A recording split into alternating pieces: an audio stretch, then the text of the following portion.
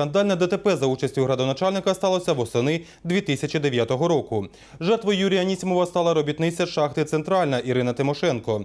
Мер збив її прямо на тротуарі. Жінка померла в лікарні через два тижні. У 2010 році Анісімова засудили на три роки, і з цим вердиктом не була згодна жодна зі сторін. Сам підсудний визнав свою провину у ДТП, але стверджував, що збив він не жінку, а дерево. Апеляційний суд відправив справу в Краснорміст для повторного розгляду, оскільки було знайдено істотні протиріччя у висновках експертиз. Весь цей час Юрій Анісімов перебував вдома, його було відпущено під заставу в 40 тисяч гривень. Сьогодні ж суд виніс інший вердикт.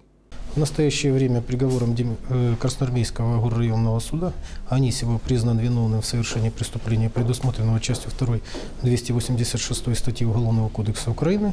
Ему назначено наказание в виде 7 лет лишения свободы с лишением права управлять транспортными средствами на 3 года. Э, с- Мера пресечения ему изменена с залога на взятие под стражу. За законом у всіх сторін є 15-денний термін, під час якого рішення можна оскаржити в апеляційному суді.